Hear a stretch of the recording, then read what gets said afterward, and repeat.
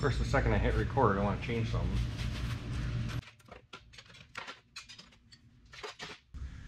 Hey everybody, it's Scott Simcoe Spring Service, and today I want to highlight my U-bolt bender and how it works. I just got an order in for about 104 U-bolt rods bent up, so I just wanted to show you the process and how we bend them all up. And I've actually set up myself a little uh, fabrication station here, so I can uh, cut down on how many steps I have to make during the U-bolt bending process. So here's a stack of U-bolt rods. You can see here they're made in Canada, which is kind of cool. And the U-bolt bender, which is a Vicroc UB302, is also made in Canada. It's made in Montreal, actually. So it's a 30-ton U-bolt bender. So you can see the upper mast here is actually a 30-ton hydraulic cylinder. It's controlled by this valve cluster here, and then that operates all of my other foot pedals and stuff like that. So I actually have it run off of foot pedals right there. So the one foot pedal clamps it, so it operates the hydraulic cylinder that clamps the U-bolt rods down and releases it, and then the other one operates the 30 ton hydraulic cylinder to move the arms up and down. We can also adjust it by spinning these. And it actually dials these in and out and allows us to adjust the size of U-bolt that we want to bend up. So my dad purchased a machine back in 1986 he bought a die set. This is a standard die set, so it goes from one and three quarter inch round all the way up to five inches round. So the square set also goes from one and three quarters all the way up to five inch. And then I do have a whole bunch of specialty dies. So that's a half round, half square. And then we got some international dies and some Ford dies. Over the years, the farmers usually request a whole bunch of weird U-bolts too. So I've made up a whole shelf full of odds and sods of different sorts of uh, other plates that we need on a regular basis. So this video is not sponsored by Vicroc. I do love their machinery and if you're looking for a U-bolt bender they are a quality piece of equipment. Um, so, but what I am going to do today is I'm going to show you exactly the bending process. I'm using 3 inch round dies to go around a 3 inch diameter axle and it slides onto our part here, slides into place, and now I can bend my U-bolt rods.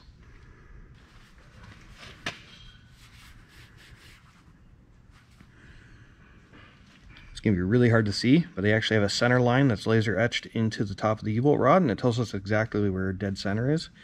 And I also have a little circle on my die here that shows me where dead center is as well.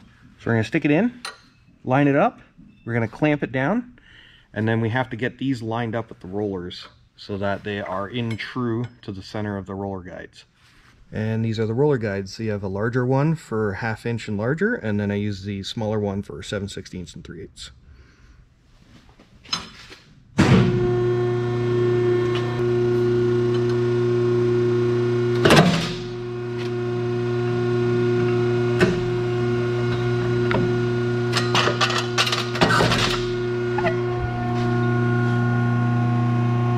that's what I was trying to line up there. You can see I was lined up to the center of that roller and we're set on the die really well, so we're good to roll it.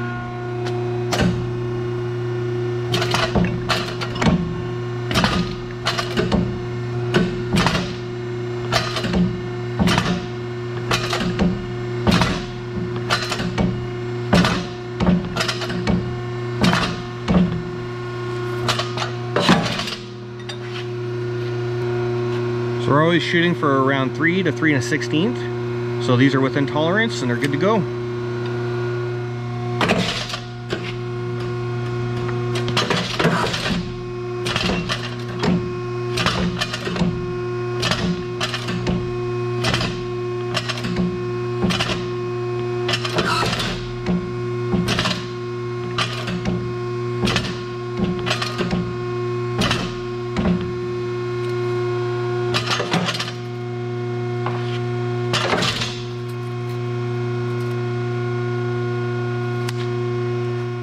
This particular U-bolt I just bent is actually 2 and 15 sixteenths. So it's just a tiny little bit tight. And it's going to give it a bump on my. So now the U-bolt's at 3 and a 16th, so that's perfect. We want it just a tiny little bit over the 3 inch diameter so I can slide over top of a 3 inch axle. If it's a little tight and you have to hit it on, it's a little bit uncomfortable.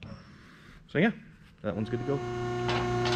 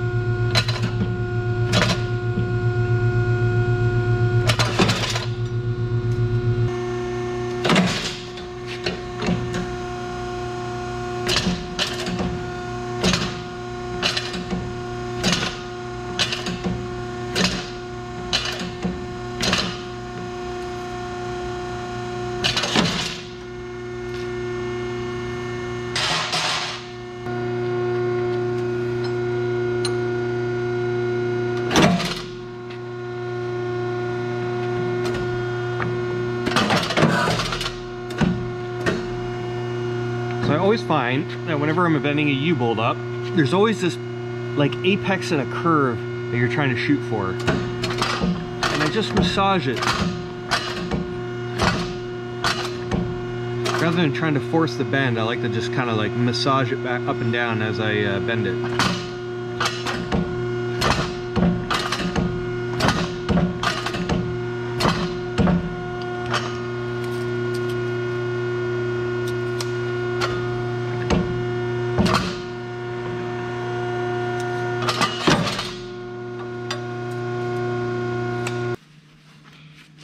So yeah, that's how we get our U-bolts from straight rods to bent. And uh, I find it really cool, fascinating. I've bent probably about 20 or 30,000 U-bolts in the last 10 years, so still find it interesting. But yeah, that's it. That's my machine. Hope you enjoyed that. I'm just gonna bend up the other uh, 100 rods or so and uh, I'll just uh, play a little bit of music while I uh, bend them up.